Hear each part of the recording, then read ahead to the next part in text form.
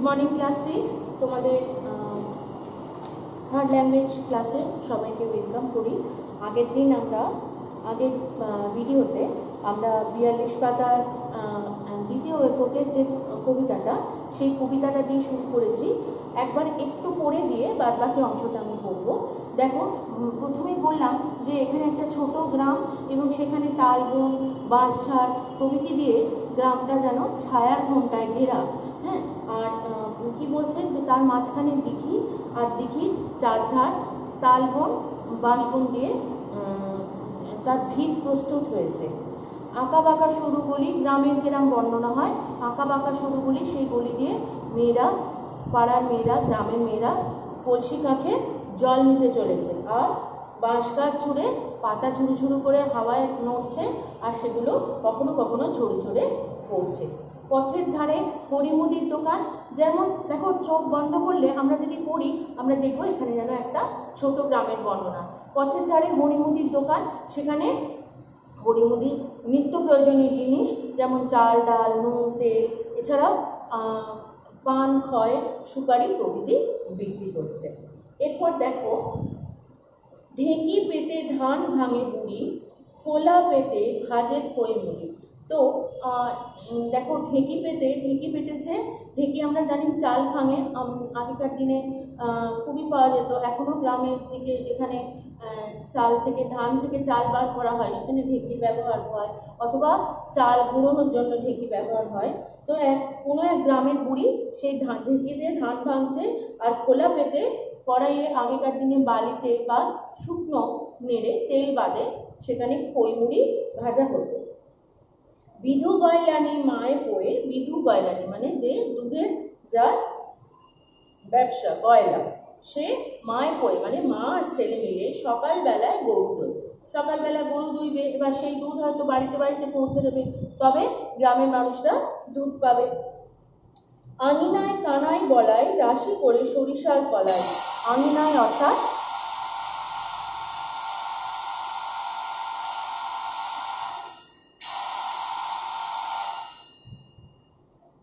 আঙিনায় অর্থাৎ উঠোনে বা ঘর সংলগ্ন বারান্দায়, সেখানে কানাই আর বলাই দুই ভাই বসে রাশি রাশি রাশি করে সরিষার কলাই মানে সর্ষের যে মটর, সর্ষের যে কলাই, সরিষা আর কলাই।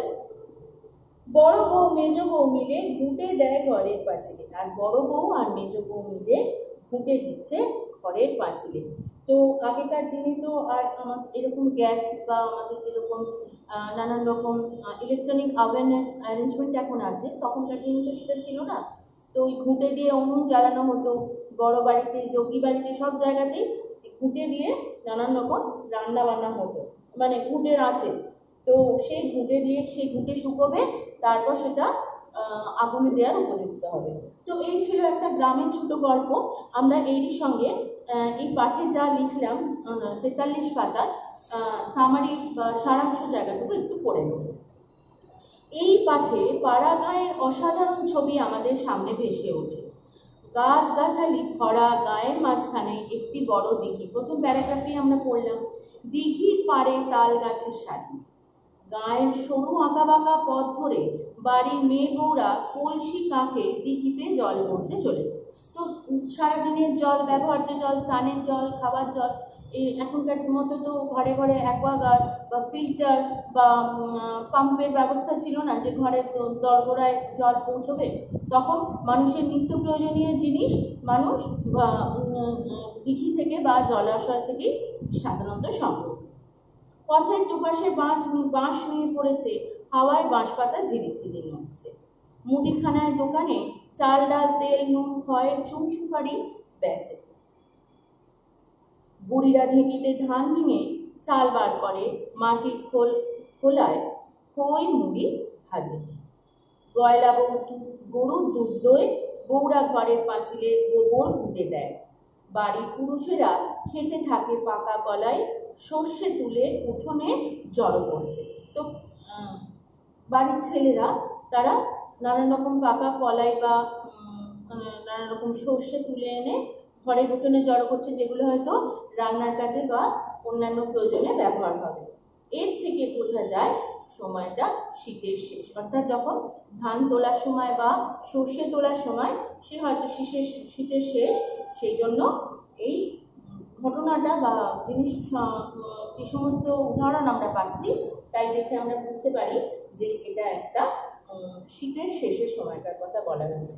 তো তোমাদের বিয়াল্লিশ পাতার যে কবিতাটা, ছোট কবিতাটা, সেই কবিতাটা আর তার সারাংশটা আমি আলোচনা করলাম।